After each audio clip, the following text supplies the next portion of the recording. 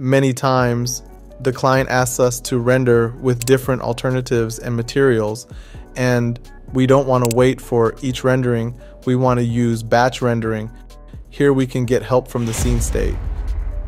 Scene state has a lot of features, and we already talked about hiding annoying objects in batch renders. But its capabilities do not end here, and today we want to talk about another one of its capabilities. If you haven't seen our previous video about scene state, I suggest you watch it through the link at the top of the page. Hello, welcome to MimViz.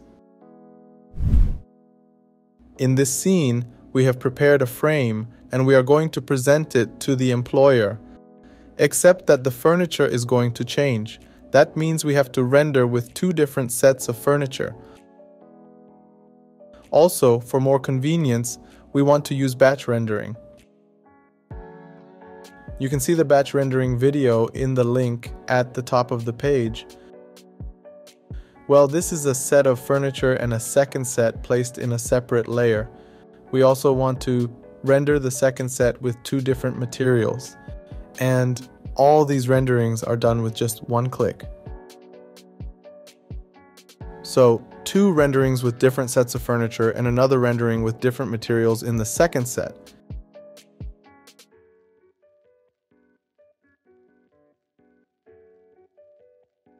And of course, scene state can help us a lot.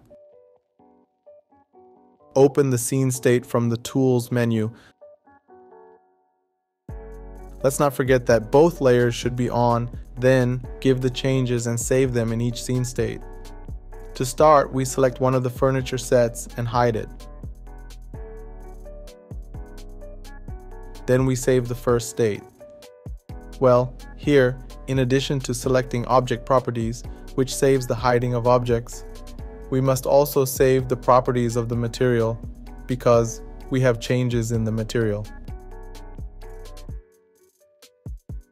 Name it Alternative 1 and Material 1 and save it.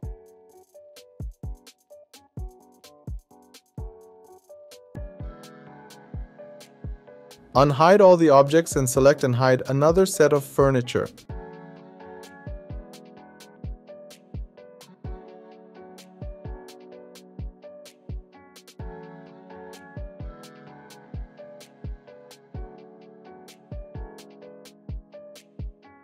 In the scene state, we save it with the name alternative 2 and material 1.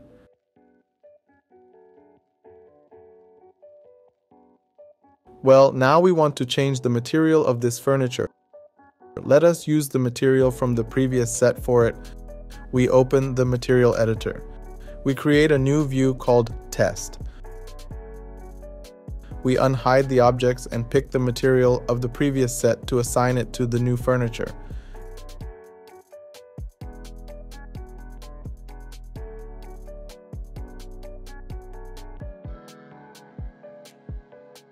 We move the desired furniture to isolate mode with Alt and Q. We go to the perspective view so that we can see it easily.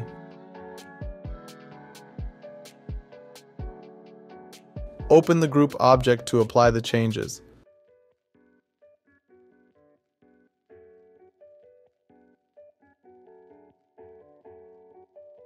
Well, since the group of this sofa is not opened, it probably has a multi-sub material.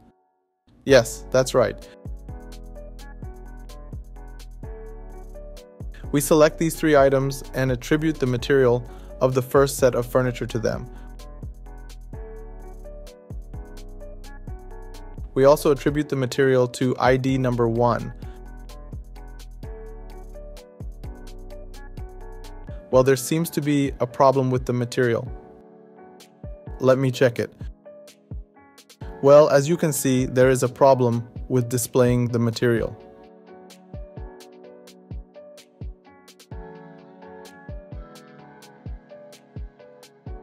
If the material was not shown in the viewport, we can select shaded material with map in the view menu.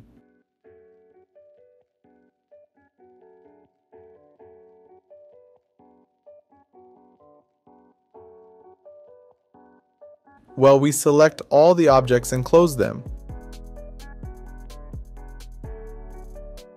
Turn on the turned off layer again. Now we have to hide the previous set.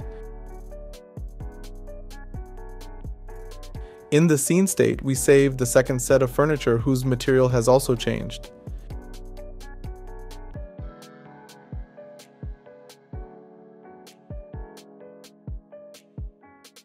In the name of Alternative 2 and Material 2, and finally save to test that the states have been created correctly, we restore the states in the floating viewport. We exit clay mode to see the material.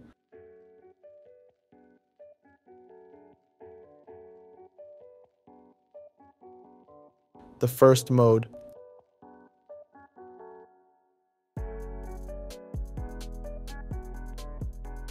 It is true we restore the second mode. And the third mode.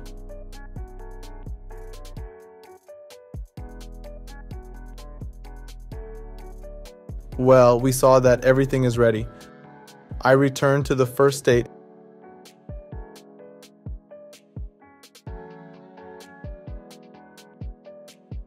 It's time to go to the rendering menu and batch render. Well, we add a view. The camera and storage path are fixed in all views. We set its format to JPEG. We also adjust its name.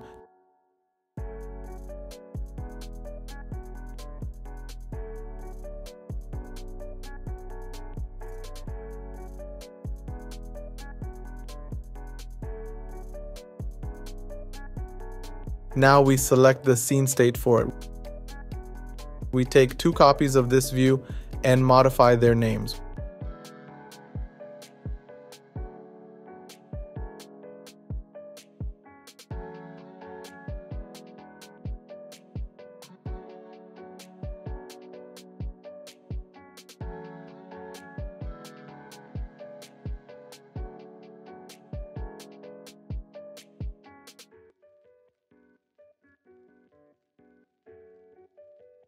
We select the scene state for the next two views.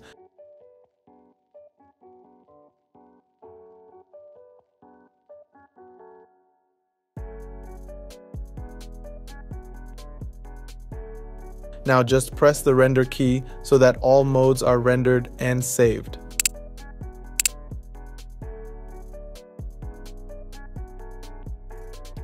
You can see that all the states are rendered and saved in order without wasting our time. Thank you for being with us. Subscribe and like us to support us and produce more videos.